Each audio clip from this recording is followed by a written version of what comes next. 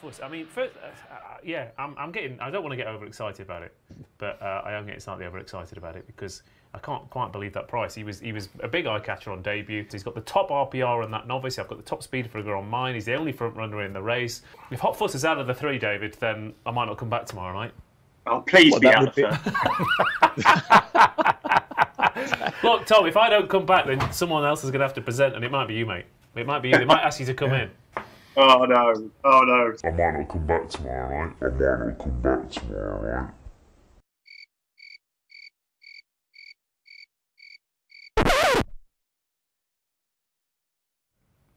Never let it be said that the producers of In the Know don't have A, a sense of humour, and B, way too much time on their hands. Uh, good evening and welcome to In the Know, brought to you by the Racing Post and Coral, ahead of day two of the York Ebor meeting. Unfortunately, we went around the office and uh, nobody else uh, wanted to take over the reins this evening. So, uh, despite Hot Fuss finishing fourth in the Acomb Stakes today. Uh, I said, okay, fair enough. I'll come back into the studio and get stuck in today too. But uh, apart from that, what a day one! What a day one we saw. Mostahdaf uh, under Frankie Dettori dominated at the Juddmonte International. Uh, that said, it took Frankie a, uh, a, a previous race to get the fractions right, as Gregory went off like a scalded cat and set it up for continuous uh, in the uh, the Voltigeur. Uh, and uh, Indian Run was the winner of the Acomb for Eve Johnson uh, Houghton. Uh, and uh, we have plenty of other winners on the card as well. Many of them tipped by the panel, not me, of course, uh, but that's not what I'm here for. Uh, if you do know what I'm here for, get involved on the chat or send a stamp addressed envelope uh, to the Racing Post offices. But it is live and interactive, of course. Tomorrow we've got the Yorkshire Oaks and we've got the Lowther, uh, and uh, we've got a card where the play spot last year paid 2,700 quid to a pound, which suggests uh, that uh, it might well be a uh, tough day. As we said on last night's show, if you struggled on day one, it's only going to get harder and harder. But that is York Ebor Week. That's York in general. Uh, get involved on the chat. Hello, good evening to everyone. To Jim Freitas, to Daniel Valentine, to Nick Carr, to Tom Leach, to Mike Boy, to Stevens99, uh, Rob Dixon, Alan Keane, and uh, much, much more. Make sure you like that stream as well. We got a record number of likes last night, and I didn't even tell you that if we get over a thousand this week, Tom Segal has said he's going to come in to the studio for Champions Day. That's right, Tom, isn't it? Uh, we had 366 likes last night, and we didn't even have that little bit of bait on the hook. Oh, flipping it! That's far too many now. If you if you out there can just stop doing the likes, we'll be absolutely delighted. Uh, yes. Uh, anyway, what do we make of uh, what do we make of day one? Uh, Tom Segal, Frankie Dettori went from the uh, well, the ridiculous to the sublime. Yeah, he was horrendous on Gregory and brilliant on Mostahdaf, wasn't he? As you as you quite rightly pointed out. Uh, I didn't sort of sort of it just shows you, doesn't it, what races are like without pacemakers? I don't know what you. I used to like pacemakers in races because you sort of knew what you were going to get. Nowadays, when they've sort of the, the modern fashion is not to have pacemakers, isn't it? And it's weird because Paddington, the one thing Paddington needed was a pacemaker. I've always thought that, and they're mucking about with him, and you know. In the past, they'd have had hundreds of pacemakers. Now Yeah. they've sudden, suddenly stopped doing pacemakers. But there we go. There we go. Uh, uh, yeah, as you say, Frankie was brilliant on, on Mostahdaf. A little bit disappointed because the race didn't go for Nashwa. I thought she ran a mighty race. Yeah. Definitely stayed the trip and just just hard. She gave she gave a very good horse six length start, didn't she? And she got beaten a length. So I thought she ran a mighty race. I thought everything else sort of went to plan, didn't it? And you could have, you know, I thought the Acomb was a real ramshackle race. If truth be told, it was one of the worst group races I've ever seen. But uh, it was a good winner. Yeah. The winner's probably right. And Continuous looked very good, didn't he? But I wouldn't give up on Gregory turning the tables round in the St. Leger. I thought he did really well. He was sticking on again at the end. Well, I mean, I mean, you say about a lack of pacemakers, Tom. Um, I mean, they had they had a lot of pacemakers in that race, didn't they, Ballydoyle? Just- Obviously, none of them from the same connections, but it was. I mean, they were going 40, 41 miles an hour. Paul Kealy, by the way, in the studio as well. I'll bring you in because you are you're chomping at the bit. Yeah, Gills, I mean, it's, it's just one of those. It's, I, I wrote a piece the other day for, for the email column for the members saying that I, I genuinely got an opinion that actually jockeys have absolutely no idea how fast they're going from one race to another. And That one virtually proves it, doesn't it? Because he's gone miles faster over a mile and a half with a contested lead in the Great Voltigeur. Yeah. And then he's got the easiest lead going with everyone ignoring him basically in the early stages. Uh, in the international, and I, I just say, like you know, if you're driving a car at 32 mile an hour, can you tell the difference between 32 mile an hour and 30 mile an hour? Well, not only that, but if I'm driving a car, I normally have my sat nav on my phone, which tells me one number. This tells me another number. You get one of those flashing signs up as you're driving, Well, and, it. and I'm looking at all of them, thinking, I don't know which one's right. But two mile, two mile an hour for, for a minute is like Yeah. 40 lengths in a racehorse. Yeah, yeah. In a race, in a race. I- Like, you know, feels you can't like- just tell the difference. Yeah. Couldn't agree with you more. It used to drive me mad when the commentators used to go, they're going fast without anyone.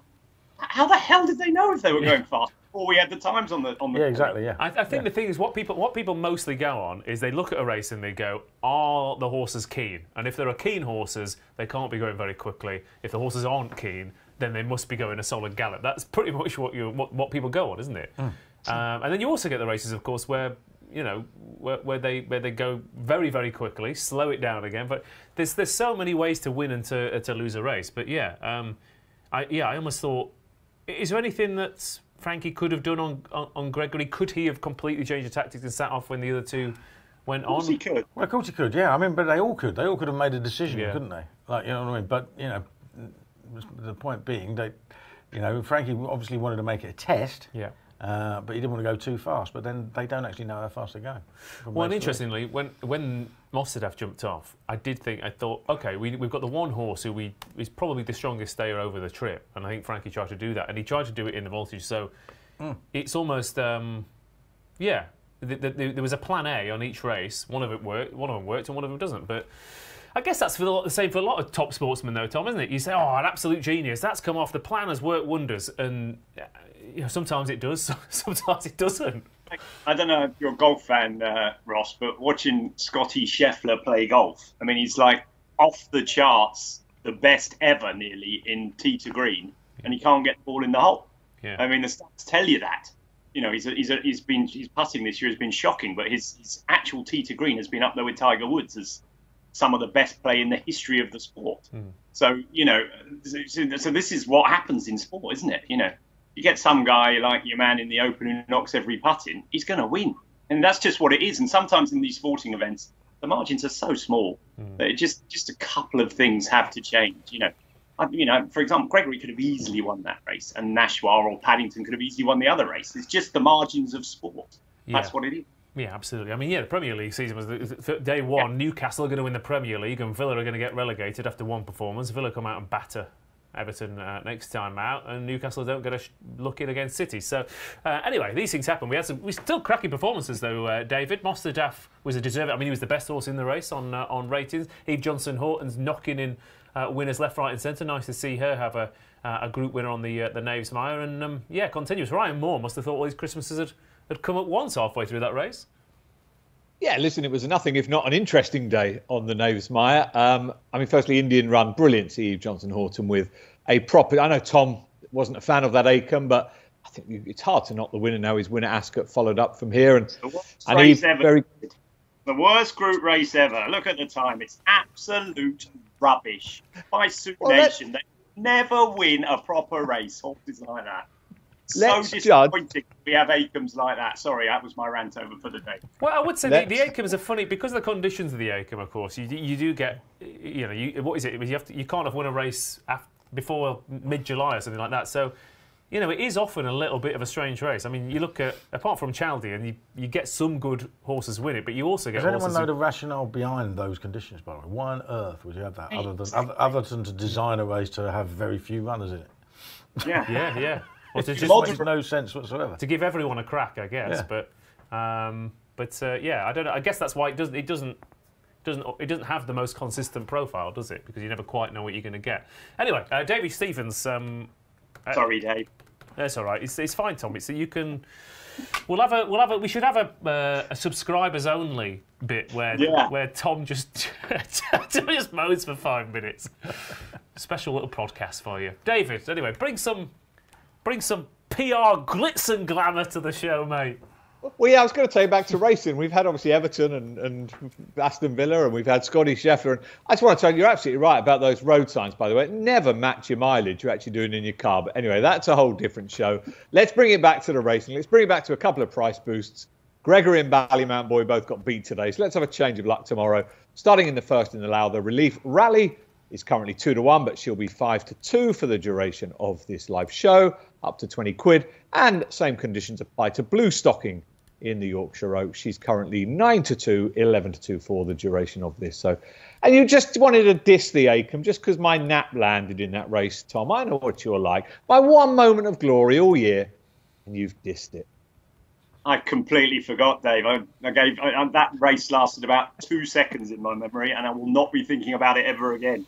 Okay, lovely stuff. Uh, if you want to book uh, Tom Segal for uh, motivational speeches or uh, bars mitzvahs, maybe uh, uh, uh, weddings or anything like that, do get in touch. It's tom.segal at uh, happygolucky. Don't you dare! Dot give com. my- Look, uh, what I've learned, what I learned from comedy as well was that if you ever want to book a comedian, it's just their name at gmail.com. Email them. It's, it's, it's, no one ever has anything particularly clever to come up with. Anyway, uh, get involved on the price boost and get involved on this as well.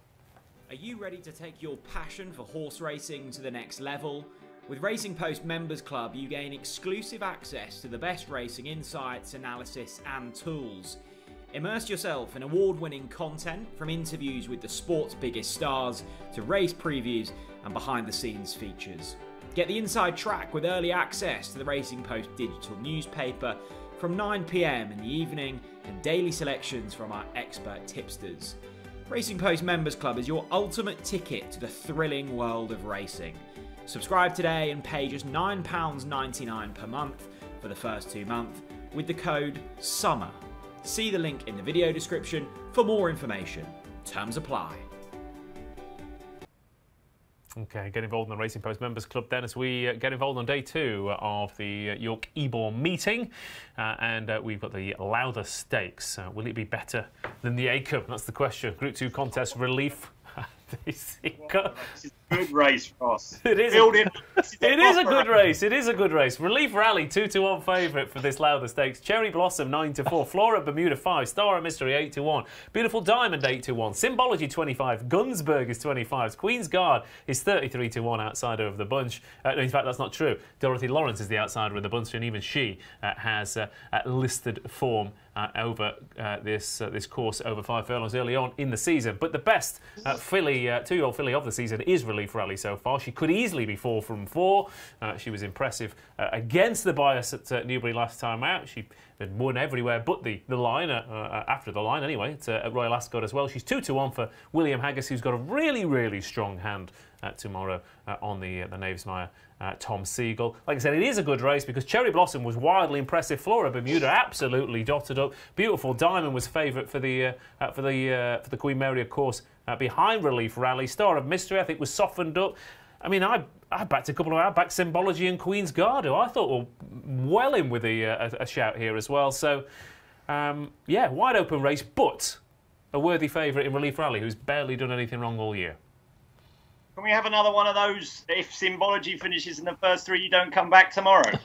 Uh, if Symbology or Queen's Guard don't get in the frame, then yeah, I'll I'll quit. Brilliant.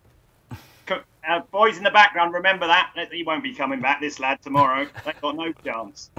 Uh, I think it's I think it's an absolute cracker of a race. I think the first three at the I think the three at the top of the market are three of the best fillies we've seen. Three-year-old, uh, two-year-old fillies we've seen so far this season. I think Star of Mystery is much better than he showed last time. Beautiful Diamond's one of the fastest breezes we've had, and probably did too much too soon. Maybe was a bit keen at Ascot and better than she's shown. So I thought it was an absolutely brilliant race. I'm a massive Relief Rally fan. I think she's been the best filly we've seen. Should have probably won the uh, Queen Mary as well, wouldn't she? She was in front before and after the line. Step up to six furlongs is short to her the way she finishes. But I was really impressed with both Cherry Blossom and Flora of Bermuda too. Uh, very different ground for Flora of Bermuda. It was pretty quick today. The times were very quick. But I think she'll have imaged by Dark Angel, so maybe she liked the soft ground. But Cherry Blossom, No No Never was really, really impressive. I thought the sectionals were excellent in Ireland.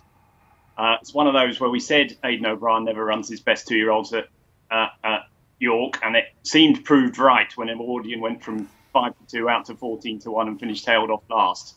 But I think Cherry Blossom's a bit different on what she showed last time. She was she was really impressive. So I think Relief Rally will win, but I don't think it'll be easy. And your two can start now, and they still won't, Ross. Fair enough. Fair enough, Tom Segal. Absolutely, fair enough. Uh, but it's not a sprint handicap, so you're not going to tip the winner, are you? But uh, it's True. True. Paul Kealy, uh, the uh, the Lowther Stakes. Yeah, I what do you mean, I think Relief Rally is very much the one to beat. She's definitely going to like the extra furlong. I'm, you know, I agree with Tom that it's very competitive. I don't actually think we've seen a really superstar two-year-old filly yet. Uh, I really don't. So I'm not gonna, I'm not gonna go charging in at nine to four or two to one or whatever. Um, I think Star of Mystery would be four to one if she hadn't run last time, and that one was just too bad to be true. Beaten at six on, um, it's not right. Um, there was a bit of rain around. It was a lovely Uh, bit of team tactics, I thought that. So we were talking yeah. about pacemakers and team tactics. There's four runners, but there was two Amo Racing horses in, Yeah, and one but, of them you softened know, her I think you know, and I think the way she strode out on really, really fast ground at Haydock in June when she just won by 11 lengths. I know it wasn't much of a race, and then, then won again at, on, the, on the July course and listed company after that by four. I think she's pretty good. I would, I would, I'm happy to ignore that one. They seem to think there must have been some sort of problem. They put a tongue tie on. So I would have a couple of quid each way. I know it's not a race I've not a race I've tipped into more. It's not a race I particularly want to bet in. But if I was going to put up one, it'd be Star of Mystery against Relief Rally. Okay, Star of Mystery, who, yeah, did absolutely dot up at Haydock on fast ground. Beautiful Diamond's also got fast ground form as well. And yeah, like I said, I mean, um, I'm not, not going to listen to Tom Segal poking fun from home, but I thought uh, I thought Symbology was a little bit interesting. She was green as grass on on debut at, uh, at this track and got up to it's a win, and she looked uh, she looked interesting last time out at Ascot. She just again was was in the poor position that day, but she's going to be in box one. The, the interesting one for me though is Queen's Guard, who. Um, the Racing Post handicappers have said that the, the two Godolphin horses in that Yarmouth race ran about a stone and a half below their, their form, but I'm not entirely sure that's, that's that's true on the numbers I've got. And I thought she was quite interesting. We were saying about Michael Bell's two-year-olds, uh, Danny uh, Danny Tudhope in the saddle as well. Yeah, I'm going to be I'm going to be having a nibble at Queen's Guard at 33 to one, and we'll we'll see Tom Segal. We'll see who's uh, who's right. But Just trying to save you some money, Ross. I'm just trying to get your bus fare home. I don't want you to be sitting there and tomorrow going, "Oh my God, Shields has done it again." Poor me. I'm just trying to say. I'm just look. I'm thinking. I'm thinking of you, Ross. thanks, thanks, mate. That's that's really sweet. Uh, David Stevens, uh, uh, what have you got in the Lowther? Well, firstly, excuse me, I'm with you, particularly with symbology.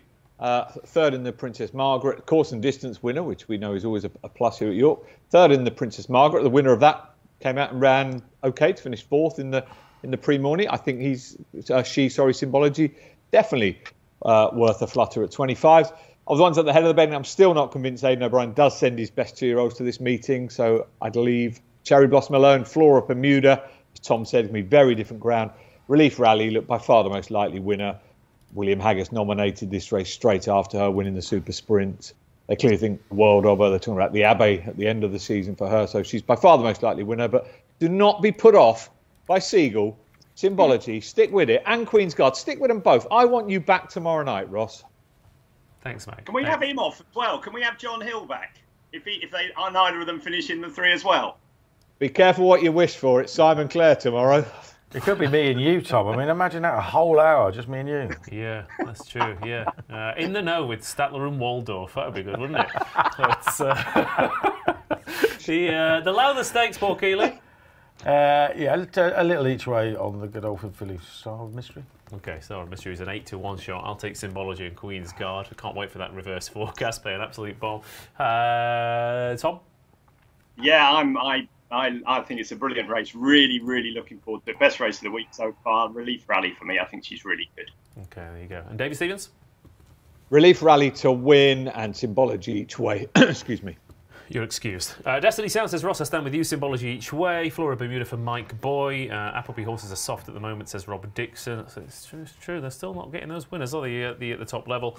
Uh, and uh, finally, some beau- beautiful diamond each way, says Cameron Longstaff, with a uh, an incredible. Uh, name there. Uh, the 225 at, uh, at York, the the Premier Yearling Stakes here. Uh, two-year-olds lining up for a uh, for a big pot. Uh, Ziggy's Condor is nine to two favourite here. Persica five to one. Twilight Romance six to one. Dragon Leader six to one. Dappling ten to one. Van the Man 14s. We never stop at sixteen to one. Angel of England at sixteen to one. Bigger prices the rest, but again, loads of horses here uh, have uh, either had this as the, the target over the course of the year, or are certainly uh, turning up with with hopes and dreams of have landed 147 grand. But um, despite the fact that we get about 200 horses every every year in this race, Keels. There's only about four trainers who ever win it. Well, yeah, exactly. Well, Richard Hannon is the king of the sales races, isn't he? Uh, and Richard Hannon senior before him. They've won so many of them all over the country. Uh, and you look at him, he's won five of the last seven of this. And obviously Persica um, would be the obvious one. Sean Levey riding, um, won really nicely last time. I had a look. Um, only one, and just one of the last ten winners had only had one run. Uh, one of the last ten winners had only had two runs, and all the rest had between four and eight. Uh, you know, and it, you know it's a big field. And, you know, and a bit of experience doesn't go amiss. And uh, I just thought, with the market focusing on all the really lightly raced horses, uh, I'll look for something else. And then, then I thought to myself, and I thought, well, hang on a minute. If Relief Rally is nine to four to win a Group Two on the strength of beating Dappling by three lengths in the uh, in the super sprint, then Dappling has to be about a 10 to 1 in a Mickey Mouse sales race, getting weight from the entire field. Uh, I just thought that was, you know, it's just the wrong price. Now, she was only fourth in the um, conditions fillies race at, at Goodwood next time, but she didn't get the best of runs and it was bottomless ground. It was horrible. Uh, I'm not going to worry too much about that. I, I just think she's a tough horse. She, she'll, she'll run a race. Um, she's going to have to prove she stays, but I think that, I'm not that worried about that, to be honest. I mean, the, the just- dam was a, a dual seven furlong winner. Yeah, exactly. So it, it shouldn't be it, it shouldn't be that much of an issue. And I just thought she's she's interesting at a double figure price. Okay, Dappling then, uh, who is a, a 10 to 1 shot for uh, and there was, are there extra places around it as well? There better be extra places. It's a five uh, places. There you go. Yeah, it's a 22 runner, uh, 22 runner sales race. So yeah, I'd expect at least five places. Uh, Tom Segal, yeah, uh, Ziggy's Condor heading in it here at, uh, at nine to two for, for Middleham Park, who won this. But yeah, there's as uh, Keel said, it's often uh, horses who've taken in some really tough uh, races throughout the uh, the summer and come here and land a big pot. But yeah, the market is going for for the unexposed types.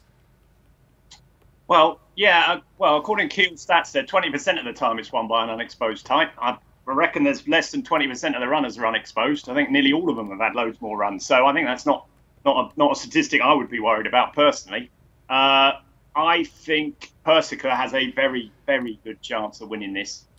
I remember Mum's tip was same owners, same trainer. I thought he was m- mightily impressive at Salisbury the other day. I Right, don't Can. I just interject and say that 50% of the runners are unexposed, having had only two runs? All right. Well, still 20% of them did win. But, but uh, 20% my and 50% of the runners. But my point is that she, I thought he was really impressive. He's by New Bay. I'm a sucker for New Bay. Might want a bit softer ground, but thought he was really powerful and really strong through the start and through the finish of the race. I think he'll be perfectly suited by York. It, it was. I thought it was quite an interesting. But it, it, it seemed like a. I noticed after he won that at Salisbury because he came out three days later, didn't he? And I, I Yeah. thought, what, what, what have they got into him in? And obviously, Mum's Tipple connections as well. And um, you know, I thought, oh, they they really must have been disappointed with that run. I thought we want to go into it off the back of a win. It, it was a. Yeah, it's an interestingly executed plan. This, isn't it? Well, I, I just think. Well, I, I, I don't know if it's a plan or not. All I know is I think he's a class horse, and I don't think many of them, many of these are. You know, but he's got dwelt start, both. Um, It didn't 12 start. Watch, watch, watch. Uh, if you watch Salisbury back, he was drawn on the outside. It looks like he 12 start, but he was in front after half furlong. Didn't look like he was too with to me. It was didn't look like he was dwelling too much to me. Uh, I thought, I think, I think he'll be out in front, no problem. It. I think he's, I think he's very good myself. I think he'll be too classy for these. Okay. Um, there were a few others um, who I thought were a little bit interesting. That, that race at Ponty, Twilight Romance and We Never Stop, I thought that was a half decent contest. They were, were Yeah. a bit of a ding dong battle, and they've um, they've uh, they've both got York form as well. One's drawn five and one's drawn seven, which is, in theory, especially the way that nursery went today, a, a decent place to be. Uh, quite quite understand why Twilight Romance is sixes and We Never Stop sixteens though. No, no, I totally get that. I thought Twilight Romance probably softened the race up a bit for We Never Stop. The time before Twilight Romance had beaten him uh, quite easily. I, I, I know you're talking about the draw. I don't think there's any. I mean, Designer was the highest drawn. Mackinac and JM Juggle were 19 and 20, and they were only just touched off in the sprint. I just think it happened at the pace that Zulu Chief in the last nursery made it sort of over that side, and the ones this side sort of never got into it. Even though I'm not a great believer in that sort of stuff, but I thought that was the case in that race. So I'm not worried about the draw. I think you can win from anywhere at York. Okay. Uh, to. I'm going to throw one at you that you're going to tell me he's got absolutely no chance here, Tom. So I'm looking forward to uh, to it. But uh, Land Lover, Craig Lidster, Ben Curtis must be at least 52 on here. I know he's only got a rating of 78, but ran on debut here, surrounded by horses who are rated 80 plus, 90 plus. Just touched off at Carlisle over six furlongs behind Soldiers Gold, Gold who's now rated uh, 90 as well. Third behind Twilight Romance and We Never Stop over that six furlong trip here at the track. They're 6 to 1 and 16 to 1. Craig Lidster's in cracking form. 50 to 1? No, I'm not gonna. I'm not gonna have that one on the Ross isn't coming back list because I think you're right. I think he's got a chance. Uh, she is it she? Uh, I thought she. He, whatever it is, uh, sh- uh, Is it ran Colt? really well. Yeah. Colt, yeah, whatever. He ran really well in the Acomb as well. Hartem was in that, wasn't he? And you know, some good horses win that. He ran. I think he was second time up. He went into the A- uh, not the Acomb, The the, Woodcote. Yeah, yeah, yeah. Uh, he didn't really like the track, but he ran really well. So yeah, I wouldn't. I wouldn't put anyone off him at 51. That's for sure. Okay. Uh, of But you weren't Uh, expecting that, were you? I wasn't expecting that, no, no. But I'll take it. Good time to you, Ross. I know. I tell you what, if Symbol- Symbology and Queen's Guard finish 1 2 in the first and then Landlover wins the second, I won't be coming back, but for very different reasons. Uh, David I'm Stevens, not coming back either for exactly the opposite reasons to you. because the game's gone. Uh, but uh, David Stevens, um, five places on offer for this uh, wide open uh, uh, but very, very valuable pot. Yes, I'm glad the niceties were short lived there as well. Um, yes, five places each way, as we've said. Richard Hannon, his record in the race, like his father before him, has been highlighted. He is the subject of a price boost in this. He's got two others as well as the two that we've talked about. Richard Hannon to win this sales race, 5 to 2 from 15 to 8. I'm with you, Ross. I think somewhere along the line you mentioned the Ponty race with Twilight Romance and We Never Stop. Uh, Twilight Romance has that all important York form slightly better off at the weights now. I think that's probably explains some of the price discrepancy there, but they'd be the two for me. But yeah, Richard Hannon to win this yet again, five to two from fifteen to eight. Okay. Uh, he's run 20 horses in the past 10 years. He's won five. Uh, of the uh, the renewals, so uh, there you go, five to two out from fifteen to eight. Uh, but uh, Paul Kealy, Yeah, dappling back to Mitch Road with the extra places. lovely, dappling it is. Tom Segal, uh, Persica for me, okay. very, very keen on him. So that's a price boost you might be interested in actually then. What price? The price boost? I, no, I don't need to. Right, that Persica's going to win. I don't need the other four with me. Fair enough. Uh, I'll go for Twilight Romance, We Never Stop, and Landlover to uh, to finish sixth, seventh, and eighth. Uh, and uh, David Stevens. Uh, just Twilight, Romance, and We Never Stop for me. Okay, there you go. Uh, as uh, for you at home, Hackman's too big a price. That says Chazar 112. We never stop each way. That says uh, Kevin Hasnip. Uh, Twilight Romance uh, each way if, uh, if Mike Boy can get 10 to 1 plus, apparently. So good luck with that. Uh, moving on to the 3 o'clock at uh, York. Uh, a, a mile handicap over.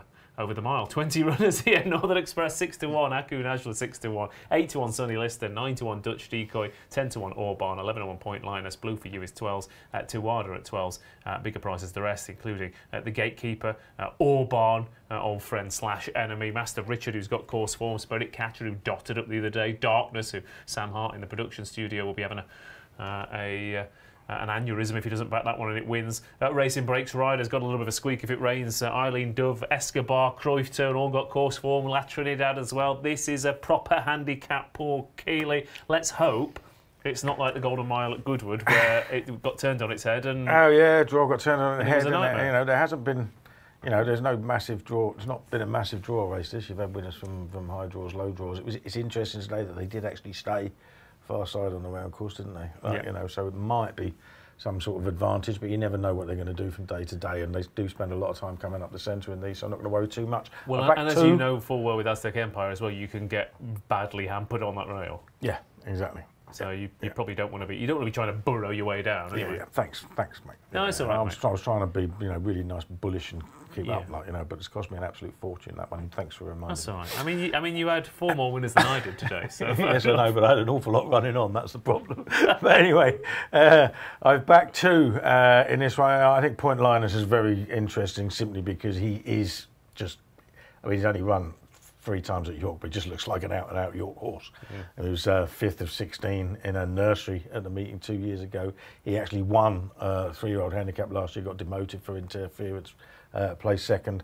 And then he was second, beaten ahead in May in an incredibly good handicap um, um, to uh, Croupier, who went on and finished second in the um, in the Buckingham Palace. Northern Express was third. He finished third in the Buckingham Palace and then won another race at York. Astro King finished fourth, uh, finished second in the John Smith's Cup. Blue for You came out and, and it was fifth and came out and hacked up. It- It's just a Bo really, Pedro was sixth. Really. Bo Pedro well. won the other night. Yeah, there's four other winners further down as well. Guido's won out Well, of it as you know, well. so yeah, I mean, it's just- Snazzy Jazzy didn't he win as well? Um, No, I hmm, don't think he did actually. Or am I? Am I imagining that? But, no, he uh, didn't. He, got, he got beaten on the line the other Yeah, day. yeah, but but anyway, it's just an outstanding piece of handicap form. And okay, he didn't he didn't run so well in the in the Hunt Cup himself, but a couple of those uh, around him didn't run well in it and came out and, and, and ran really well afterwards. So so I'm not worried about that. He's a York horse. He likes fast ground. He's gonna yeah, he's just gonna run really well, and this will have been the aim all season, won't it? So uh, yeah, back to him. And the other one I back to Sonny Liston. A little bit of a worry about him and the fact that he's run at York twice and run badly twice. Not my sort of horse for that, but he wouldn't have stayed in the John Smith's Cup last time anyway, and he also went without the earplugs that he wore when second in the Hunt Cup and fifth uh, last time in the Golden Mile when uh, he didn't get the best of run. So I'd give him one. I'd give him one more go round here because he's in really, really good form, uh, and I think he's got. A, I think he's got a decent prize in him. Yeah, yeah. It is. He, is one of those. I agree. He's got a decent prize in him, but there is, there is that York factor. There is There's a so nagging. many York there is horses a in here. nagging worry about that, but I do think he's still a well handicapped horse. Yeah, yeah. Certainly less than an eight to one. Uh, but there are uh, yeah plenty of York horses uh, here, in the market. He's been very strong about Northern Express. Tom, is that one of you? Uh, one of yours? He's. I mean, he's a he's a right old yardstick, Northern Express, isn't he? You can you can run him in anything, and he never lets you down. Yeah, I thought he was the right favourite. Uh, it's not one of mine, but I thought he was the right favourite. I didn't, I didn't get the Aku Nadja uh, sort of gamble in midweek. Uh, he's obviously got potential, but he's obviously pretty, pretty uh, fragile too, and not convinced by him. Sonny Liston, I get definitely because I think this is going to be run at a ridiculous pace. Now, when I say things like that, it always goes the other way around. I had no idea that Artistic Star and Deauville Legend were going to serve it up to Gregory yesterday, and I had no idea Mostahdaf was going to make the running. I thought, I, in fact, if you'd have asked me, I'd have got it completely the other way round. In all those both those races. So trying to predict what's going to happen is pretty hard. But there is a load of front runners in there to Wada and Mr. Richard down the bottom. There's four Mark Johnston horses. I know Dutch Decoy isn't going to make the running, but they all like to race it. And I think that's what Sonny Liston needs. I think he needs them to go bonkers up front, like they did at like they did at Ascot. And that's why I give him a good chance. But the other one I gave a good chance. I mean, I thought I was being really clever and sort of going against the grain and thinking that Orban was the best of uh, David O'Meara's. And now he's the shortest price of them. He was 25 to 1 a few minutes ago, and that is my fault. That is my fault. But I just thought, I just think he's been running better. In fact, I think he's in the same form he was last year. It's just he hasn't had the draws or the luck that he had last year. This year, he, he had he was drawn 19 in the Golden Mile instead of one or wherever he was, and he flew home to finish eighth or ninth. He had he got stopped badly in a slowly run race at Sandown at the weekend. Last year in this race, he was he's a stone better off with Blue for You, and he was beaten a cup, uh, beaten three or four lengths, but he got no sort of run at all. So I thought, with the way the race was going to be run, and uh, uh, being really quick, it might suit Orban. I'm very disappointed to see that the nine-year-old that hasn't won for about 20 runs is 10 to one because I don't think he should be that short he should be a bit bigger than that for sure. But I do think he's going to go go well, provided there is the pace set up. I think there's going to be.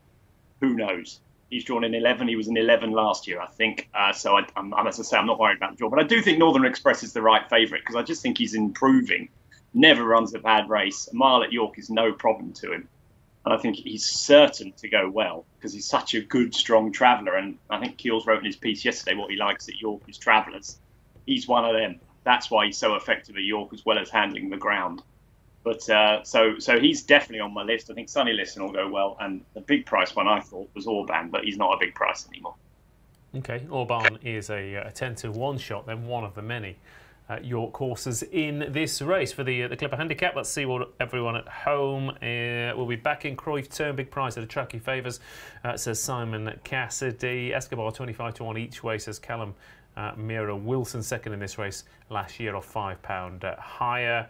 Uh, and uh, Tom Leach says he was on Orban on Sunday, and obviously he wins tomorrow because he's not on the patented Paul Kealy system, as we all know. Uh, but uh, David Stevens, extra places, price boost, well backed horses, what do you got? Yes, five places each way. Orban very well backed, 20s down to 10s, as a result, no doubt, of Tom so he's only got himself to blame for that. Uh, David O'Meara is the subject of the price boost in this. He's got four, I think, in the race, um, along with Orban. Uh, David O'Meara to win this race is four to one from three to one. And for what it's worth, sorry, Kills, I'm also in the Point Lynas camp. He's got that York form. Forget the Hunt Cup. This will have been his target, I hope. So point, uh, point Lynas, point Lynas for me. David O'Meara to win it four to one from three to one. Okay, David O'Meara straight the winner at three o'clock at York, uh, and uh, yeah, Tom Segal made five to two. Richard Allen to win the previous one, four to one. David O'Meara to win this. Price boosts uh, that Tom Segal would be interested in, uh, in theory, if he wasn't so confident on his selections in and of themselves. I'm sure I'm more interested in this one than the Hannon one, that's for sure. Yeah, I think Blue for You's got a good chance as well, hasn't he? Uh, okay, so um, but you're going with Orban and well, I like. Well, I, boringly, Northern Express. I think will run really well as the right favourite. Okay, uh, Paul Kealy. Yep, Point Lynas and Sonny Liston. Okay, David Stevens. Point Lynas. There we go. Now let's uh, let's move on then. Uh, if you are watching right now live, seven seven hundred plus of you watching right now. So uh, again, do press the uh, the little uh, thumbs up uh, button. Do like the, uh, the stream. Like I said, we've got a, a record number, and Tom Segal uh, says he will come in uh, for Champions Day, present, pundit, and do the prize boost as well. So there you go. Uh, the the Yorkshire Oaks, the feature race on day two of the the Ebor meeting, Group One here, uh, with a very big field lining up. Uh, the social poll: Who wins? Save the last dance. Thirty-five percent of your blue stocking, twenty-five with Free Wind, twenty-five, and other fifteen percent. But that other covers a, a hell of a lot of ground. Uh, and Save the Last Dance was a comfortable favourite, but he's now drifting probably because the ground is rattling fast and Free Wind is into 4 to 1 favourite. Uh, it's 9 to 2 Save the Last Dance and Blue Stocking. Al Husn is 6 to 1 with Warm Heart, 9 to 1 Novakai, 10 to 1 Stay Alert. Uh, Ross Carberry is 14 to 1. Uh, sea Silk Road and Poptronic uh, make up uh, the, the field here, but even they have a decent form on fast ground over this trip. So it is a little bit of an open race. Um, but yeah, Not a lot, though, uh, at Paul Kealy, of genuine fast ground form to get stuck Well, no, into. that's it. I was just looking at a poll. Thirty-five percent save the Yeah. last dance. Fifteen to eight. That is thirty-five percent, Yeah. and she's nine to two. Only three and a half people voted, though. Yeah, that's it. Right. Nobody wanted to. Um, nobody else wants to back her, that's for sure. And you can see why, can't you? Because I mean, she's obviously absolutely blew everybody away when she won at Chester. It was soft ground again last time, and she, well, for most of the time, she looked like she wasn't going to win, didn't she? The, the Irish Oaks, uh, and she looks like she needs further. I mean, she just looks like she- she's an out and out stayer. You can't say she doesn't handle fast ground because she was second in an Oaks uh, on it. But I mean, she was uh, she was outgunned by the Gosden filly, whose name I've forgotten, and uh, I just don't think she's going to. I don't think she's going to. Soul Sister, that's it. I should know Soul Sister because the horse I really, really fancy for this is one that was beaten by Soul Sister in the Musidora, and that's Novakai. Now, I have been chipping away at her for the last, well, since the five days, and I saw William Buick's name up on there. Uh, she was, you know, she was also always liked last year, and she was second in the uh, the May Hill, second in the Fillies mile, and at that point I had a rating of 113, which is only one pound lower than Save the Last Dances is now, and one pound higher than Blue Stocking, who, who head the market. And she sort of lost it a bit early this season. The, the comeback in the Musidora was fine because she was always going to want further. Um, I don't really know why they bothered running her in the French Oaks because it was just, was never going to be far enough for her, and she had all sorts go wrong for her anyway. But I mean, she just blew everything away last time. I know it was a listed race. I know that on her best form she was entitled to win, but I love the way she did it. And you know, I think I think she could end up being the best of the three-year-olds. Uh, You know, I think there's every chance that she could because I don't think any of the three-year-old form is that good. If I was looking to have a bet in something else, it, uh, it would be uh, another uh, a horse of another uh, an older horse, uh, and uh, I- you know, part of me thinks, well, Al Husn, um, we're looking at a Nassau winner going off at 13 to 2 against what I think is a, you know, a fairly bunch of uh, average horses, uh, uh, average three year olds. Uh, and she is actually bred to get the trip. I know she hasn't tried it, but she's a she's a half sister to uh, a horse that won over further than a mile and a half, I think. So, so I don't think there's any. She is, yeah. Marshawa, who was a mile and six. Yeah. Yeah, so well, I a think, mile and a half So I think she'll her mile and probably six. stay. She is backing up from you know a hard race in the in, um, last time, but um, yeah, it's quite Ground it's, gives quite, for her? quite interesting. Ground, ground, ground could be the issue. The only horse I have backed is Novakai. I think Yeah. she's I think she's the wrong price. I, you know, every time I see double figures, I have to go in and have a little bit more. I was just going to say, by the way, about Al Husn. Um, I was talking to someone earlier on about the, the theory that um, the the Mac team horses in particular, I think, always go off slightly bigger because they don't have relatable, cuddly names. And you know, you had earlier Mostahdaf versus Paddington. No, you know, Yeah, no one's be. making memes Uh, of. Mostahdaf. Well, I mean, on one, you know, it was like we did say last night. On one race form, Mostahdaf should have been. Yeah. because it's a miles better piece of form than, than Paddington's last time out one.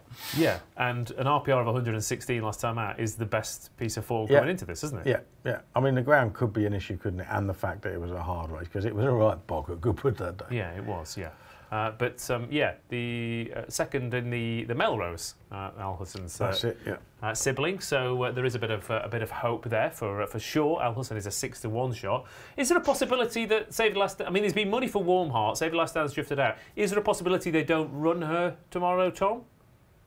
No, it's not. That's not their normal mo, is it? Uh, the, the, you know, Group One. You know, I, I, I don't know. Listen, I would run her. You know, she's she's been second at Epsom on past ground, hasn't she? I mean, what's to lose? You know, she can still run and still it's affiliate. I don't think she doesn't handle it. I just think it's a speed Yeah. thing. Yeah, exactly. I don't. I just think she'll get. This is the wrong track, wrong ground for her. I'm desperate to take on the Irish Oaks form. I think. I think Save the Last Dance and Blue Stocking. I want to take them on. Uh, and the earlier in the week, I was all over Free Wind, but I'm slightly worried about the ground for her now. I think she's better on some. I know she ran the Middleton here, won the Middleton here on decent ground, and the form worked out really well. Everything from that race has come out and run really well since. Road, Road Lightning and State Occasion and loads of them have come out and won good races since. So I don't think she's out of it. But I'm just slightly worried about the ground, and she has. I wonder if she's best fresh. I don't know. I just just think that she's had. Just wasn't, you know. I know the ground was terrible last time, but she, she just finished exhausted. So I wanted to be against them. Al I get. I was definitely considering her, but I thought the ground might be the issue with her. She won one ran once on first round. I know it was her first start ever.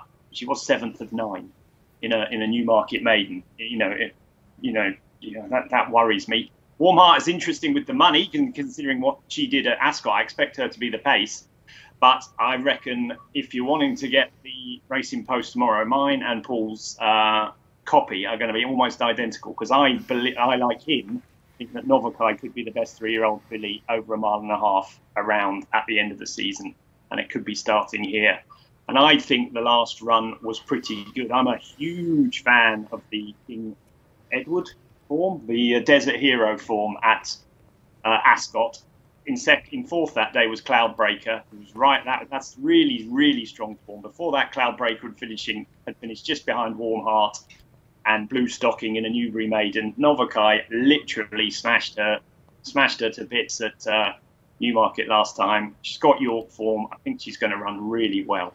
I really do. And I think any double figure price you can get should be taken on her. The other one is Stay Alert, who I think has got a chance. If you're looking for an older filly, I think when she won the Group 3 at Newmarket last year, uh, Newbury last year, she was really impressive. Never off. She was just cantered in. She got stopped five times up the rail, and she still was good enough to come and beat Colts, older horses, uh, easily. Uh, last time in the Irish, in the Pretty Polly, she was wiped out by Via Sistina. She was completely wiped out. Uh, I don't know if she would have beaten her, but I think she'd have gone pretty close. I don't think you could be certain she wasn't going to go close because she was still going really well.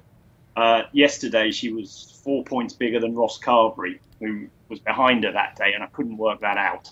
Think she's going to go really well. The one negative I've got, well, I think she'll love the ground as well, which is the thing. The one negative I've got is she was over in France for a Group One last on Sunday, and she's been over there and back, and is now coming to York because the ground is more in her favour. But it's probably not the ideal preparation. But I think on what she showed last year, and when she ran Nashwa really close in uh, a listed race or her mate or a maiden at Newbury at the start of the season, she's always been potentially a Group One filly on fast ground. So I'll give her. I think Novakai's the one but I do think Stay Alert is the other as well. And I love this as a betting race because I think you can take on the top of the market. It's unlike some of these handicaps where you actually quite fancy Northern Express, whatever it was called. I think this is a really good race for a bet because I think the first three there are all take onable if that's a word.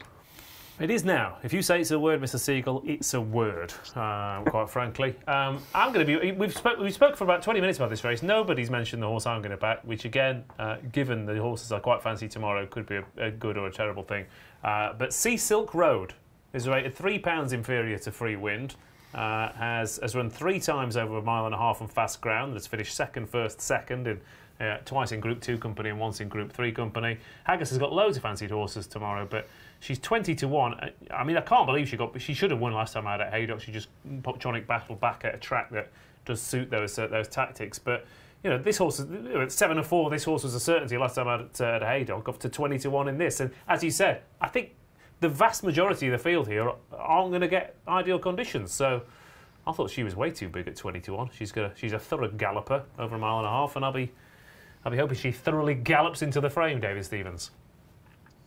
Well, good luck with that one. I'm not going to say, obviously, don't come back tomorrow if it wins or anything, but uh, I, am massively in the Al Husn camp here. Started her season seconds via Sistina, that's good form. Then they lowered her sights, took her up to Ayr to win. Then thought she beat Nashwa fair and square at Newcastle on the all weather. She then won the Nassau last time. Appreciate that. Might have been a tough race and was only three weeks ago, but you've got to assume she's okay. The trip should be in a compass, and I'm not too concerned by the ground because I don't think the evidence She's only run on good firm once. It was on debut. So for me, yes, she's the Group One filly, Group One class, and I feel it could be another painful or slightly mixed, shall we say, mixed emotions for Jim Crowley. Another Group One that he would have been on comes in. Yeah, that is true. Yeah, it's going to be a very, very frustrating uh, uh, week if that happens. Uh, as for Ross, I think he'll get over it while he's sunning himself in Barbados or wherever he is. Yeah, yeah. Fair enough. Thanks. I, I, I, know where I know where he is. It's slightly closer to home, and it's not Barbados. Yeah, he's, he's coming up. He's coming up your driveway, Tom Segal, to give you a give you a thump. uh, but uh, the the Yorkshire Oaks, Paul Kealy. Yeah, Novakai. Yeah, really like it. It is. Uh, Novakai for Tom Segal as well. Uh, David Stevens. Al Husn. Al Husn it is, and I'll go for Sea Silk Road as well. So uh, we've got three more races to get through to uh, tomorrow, uh, and uh, we've got a, uh, a listed race uh, over a, a mile and a half for, horses who might be good enough for the Yorkshire Oaks in time, but not necessarily this year. Uh, sea Theme is four to one favourite, Madara five to one, one evening eleven to two, Moricana seven, Spring Fever eight to one, Market Value eleven, Scenic twelve, Making Me Do It is twelve to one as uh, as well. Uh, which is surely a perfect tee up to go over to Tom Segal uh, with uh, with that one. But it is uh, 14 to one on bigger than rest, uh, and uh, and Sea theme four to one again. This is this looks a really open race. Sea theme looked a, a, cracking prospect last time at Tom, but um, again you go through this field and where's the fast ground form? Obviously, a lot of them haven't run on it, but a lot of the the improvers at the top of the betting have proven themselves either on the all weather or on softer conditions. Yeah, I mean, uh, listen, I've only run a few times. I wouldn't, I wouldn't, I wouldn't know really. I mean, I would imagine being by Sea the Stars. I know she's out of a whipper mare that Sea Theme will be fine on, fine on the ground. It's just a rubbish price, isn't it? And was she rated eighty-seven or something, or, or, or, or, or not even got a rating? 'cause She hasn't run that much, but on form, she's she's a long way behind a few of these. Uh, not much because there's not much top class form in it, but she's obviously got a chance. Tom Marquand's chosen her over the market value. I was slightly surprised at that, to be honest. I thought market value had a bit of a decent, had a bit of a chance uh, out of the uh, Ascot Gold Cup winner estimate. She's clearly going to stay very well. I thought maybe the ground was there against her at, uh, at uh, Chester last time, but the form was pretty good. The winner was on a roll, and the third has come out and won at least one since she was really impressive in a racing league race the other day, Totnes. I was a little bit surprised market value uh, was uh, the disparity in price between the two. I presume that's down to the, the Mark one. But didn't know anything about Madara. I thought she was probably a false. Well, I don't know. She's the highest rate. She's one of the highest rated horses in the race, but because she finished fifth, of last of five in a listed race last time, I think it might be a fair. I thought one evening was going to run, run well, just on the pedigree, uh, being by Galileo, and she stayed really well last time. She was unlucky; she got trapped on the inside at York. It's not a race I'm too interested in as a betting thing, but I thought one evening was one. And I have to mention the top one, Moricana, for Sheila Lavery, because she ran in the, I think it was the best handicap ever run at Royal Ascot, the one won by Akita Sushi. But she ran very, very well, and she was a bit unlucky. She was she was in and out. She was drawn on the outside, swapped in, went out, went went back in again. She wasn't even very far.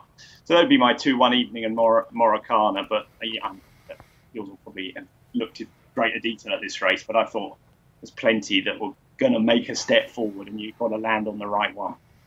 Absolutely, yeah. And uh, I mean, you were, you, you were both banging on about Novakai form. I thought Climate Friendly and Elmay were a little bit interesting out of that race. One was put through the rail at a crucial point. Um, Elmay completely cocked up the start and ran really nicely. They're both 20 to 1. Keels, what do you Yeah, got up your exactly. It's, it's, it's you know, you know, you, you can you can go through it and make cases for, for loads, couldn't you? I was all set to have a good anti-post bet on market value for the Melrose on Saturday. Because I thought she's going to absolutely relish stepping up uh, to one mile six. That would have been uh, relish stepping up in trip and was absolutely chucked in off a mark of 83. Uh, I mean, that second to Sparks Fly with, with, with Totnes behind. I mean, Totnes, she was giving £8 to Totnes, and now rated 90.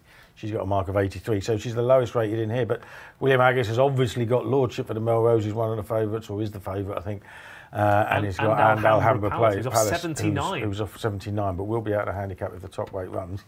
Um, so he decided to come for a listed race uh, with a filly with a very, very low rating, but he won one when we were at Sandown on Coral Eclipse Day. He did. Uh, with a 22 to 1 shot um, that was the, easily the lowest rated horse in the race when he, you know, he doesn't waste his entry fees. If he thinks it's worth running her in this race as well as a sea theme, then uh, I think it's worth taking notice.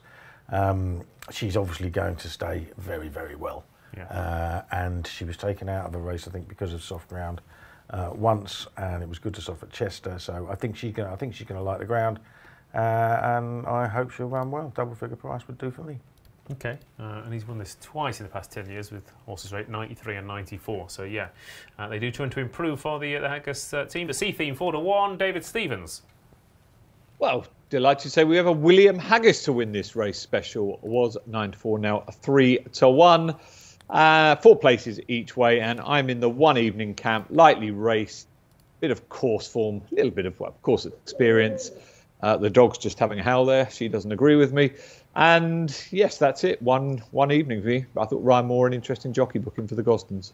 Okay, there we go. That's the uh, the 410 at York tomorrow. Two more to get through after the 445 uh, at, uh, York. Another uh, nursery here. Seven furlongs of distance uh, for for uh, for for this one. Um, and designer can be backed at nine to two to win today's 445. Perhaps. Uh, there we go. Yeah.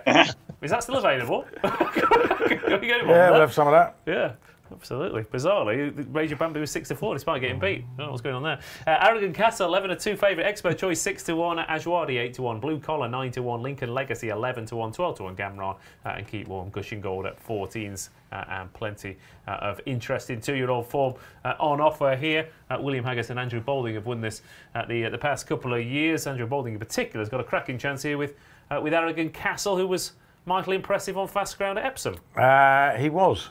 He was, and he's obviously got a chance. But I mean, we were talking about this off air, but there was a big, big eye catcher at Newmarket the other day, wasn't there? And we both like uh, blue collar for Richard Hannon, um, who perhaps with a, a more vigorous ride may well have won uh, a race at Newmarket um, a couple of weeks ago.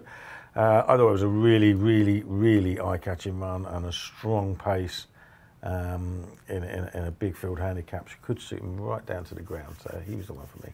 Yeah, blue collar. He's actually, I think, to my eyes, he's been an eye catcher in literally every single one of those runs. So uh, you often find with those horses, the only worry is that those horses, you then ask them to go, come on, we want you to win Yeah. now. And it sometimes takes them a run to, to Yeah, get to work out what to do, yeah. But I mean, I could go well, couldn't he? Yeah, 9 to 1 then blue collar uh, for this at 7 furlong nursery. Uh, lots of unexposed types here. Uh, Tom, uh, you were excited about today's uh, nursery. What did you make of tomorrow's? Yeah, really, really interesting race. Now I get the blue collar thing. I quite was quite impressed by Ajwadi at uh, Pontefract the other day. I quite interested in the race 'cause there were two. There was a Michael Stoute horse and a Karl Burke horse that run really well on their debuts, and they were buying it out for the at the top of the market in the morning and all afternoon. And then come the off time, everyone seemed to want to be on Ajwadi, and he won pretty comfortably. He beat a horse of Mark Johnston's that got sort of loose on the lead, and I thought he was. Uh, a really interesting horse. I was quite surprised that uh, I didn't see Oisin Orr on him, but I reckon there's probably a reason behind that. And uh, I, uh, I I thought he might be the one. He might be the one, Ajwadi. I just think he's got plenty more to come from him. I know that was a drop back to six last time at Ponty, but it's very stiff and he was strong at the finish. So he was the one for this in me. But uh, the one for this in me, he was the one for this I liked. But uh, I thought there was loads of them. Loads. You can make a case for loads of them. Lincoln Legacy was another one I thought I had a chance. As Bill said, uh, Blue Collar has been a, was a big eye catcher in Newmarket. Okay. Uh, is it possibly a weight thing with Oshinora as well? I'm just, you know, 8 stone 8. I'm just- He's seen it, lowest he's done in the past 12 months is 8 stone 10 for Oshinora, and there's, they've got two in it. So, No, there, that will be the answer then, won't it? yeah. Because if, if he hasn't done eight stone two ever, that Richard Fahey wouldn't be wanting him to ride that. No, okay, there you go. Uh, a few opinions there in this 445. Uh, I demand an extra place at the very least, David Stevens. You can have five places each way Thank you. in this. Uh, Aragon Castle's been backed at the head of the betting. I can see why. Uh, I take a chance on Gamran, not particularly exposed, but had a couple of these. Lincoln Legacy and Ballon d'Or behind him last time. Fi, Richard Fahey's team going well. Has got has run on good to firm. Seven furlongs his trip, so Gamran each way for me. Okay, man, each way then at uh, 12 to 1, one of uh, many uh, runners from the the Fahey team here in this 445.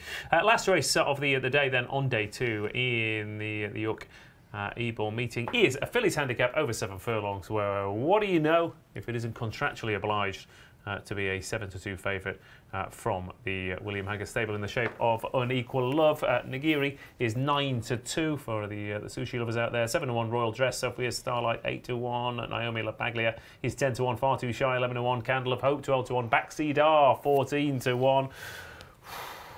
Ah, yes, that name, that name uh, uh, for the, the Karl Burke stable, and it's 16 to 1 and bigger the rest. Uh, uh, plenty of horses have been running some uh, red hot races. Uh, unequal love, though, uh, again, William Haggas is either going to have the greatest day ever tomorrow, uh, or, uh, you know, they're going to be very expensive failures. Uh, it's what you get with Haggas, isn't it? I mean, you get you with these, un- you get you know so many of these unexposed horses. Very good at getting horses handicapped by winning races, Hmm. which uh, a lot of other people choose. You know. Uh, to finding the weak ones to find win. them, you know, find you know down the field the maiden, and then we'll go for get a mark. But Yeah. finds weak races to win, and they still turn out to be very, very well handicapped. The only problem is they never ever get missed by the bookmakers. Yeah. And here I've got a seven two favourite in a 19 runner race. She can win, but I can let her win at that price. I'm going to give one more chance uh, to a filly that we've backed a couple of times, Baxidar Yeah. who just hasn't had things go right for her um, since she won three starts ago. I mean, we, were- we were there at Sandown. She's only beaten two lengths in that listed race, uh, not getting a run. I'm not 100% sure she wanted the easy ground, but she certainly didn't run badly last time at Goodwood, went sixth. Um, so give her one, one shot. I mean, if there's a place where you're less likely to run in some trouble, it's probably York, isn't it? You know what I mean? So I'd give I also think the drop back's interesting. yeah, she was, and the drop back too keen Yeah, yeah, she's too keen. So she gets a strong run race. Yeah. Uh, and if she likes the ground, um, then I think she's going to run well at a price. Yeah. I mean, to be fair, if I thought she was a again, if I thought she was a bet at six to one in a listed race, then she's definitely a bet at 14s in a the handicap, handicap, isn't she? yeah, absolutely. So uh, yeah, she's definitely of, uh, of interest. Um, what uh, what about you, Tom? What stood out for this finale?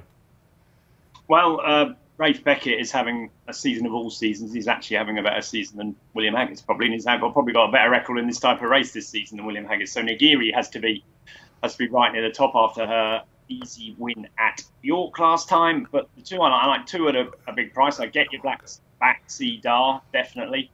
I thought Naomi Lam Lapaglia for Richard Spencer and Oisin Murphy. Oisin Murphy doesn't ride them very often, but when they do, they tend to go very well. I thought she was an easy winner last time and had a huge price. Jim Goldie's Rock Melody, who I think is crying out for seven furlongs, has been running very well over sprint trips. He won over seven furlongs when he was uh, when uh, uh, she, should I say, when she was trained by I can't remember as a, as a two-year-old. Kevin Philippart de Foy.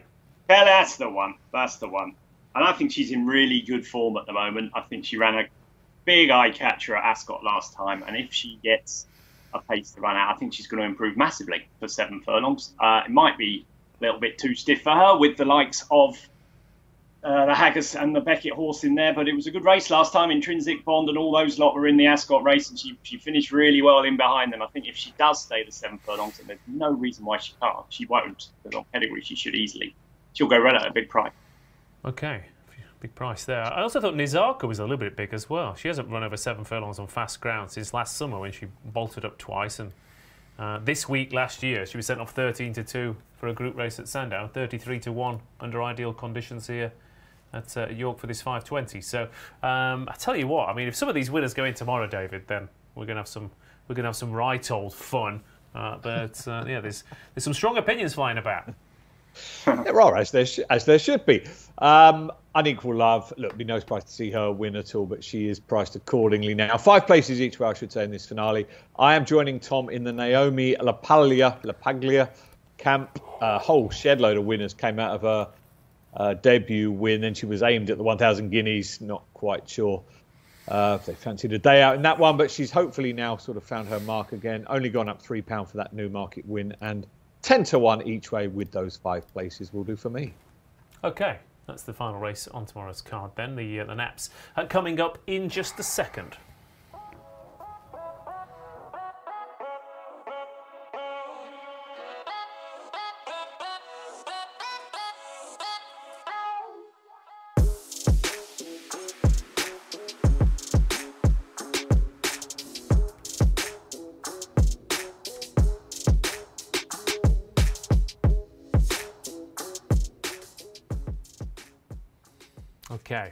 There's thousands and thousands of runners tomorrow at York uh, uh, for Yorkshire Oaks Day. So, what is the best bet of the day from our panel? Paul Kealy.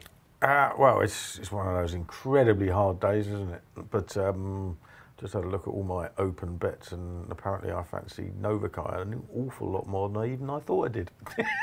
There you go. Uh, so the, uh, the the open bets column is telling that is a. Uh, what about you, Tom?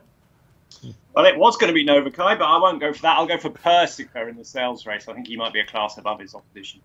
Okay, Persica it is. Uh, David Stevens. I'm going to be a lot safer, I think. Hopefully, relief rally in the Lowther with symbology. chasing her home at a big price. Okay, there you go. And uh, I think of Nat backseat are three runs, two runs running, two runs running uh, to, uh, to today. And seeing as you've all gone for horses in races I are fancy. No, actually, you know what? No, Queen's Guard or Symbology, yeah, in the first because uh, just, just just to see Tom Segal come on and, and congratulate me like the gentleman that he is. I will I will send you a bottle of champagne, and that's that's a deal if they if one of them wins. Okay, will it have any champagne in it? Yes, Okay, lovely still. undoubtedly. join us tomorrow to see if I get that bottle of champagne from Tom Segal uh, or if the Seagull has the last squawk. Uh, we'll be back for more fun and games tomorrow night at 6 pm.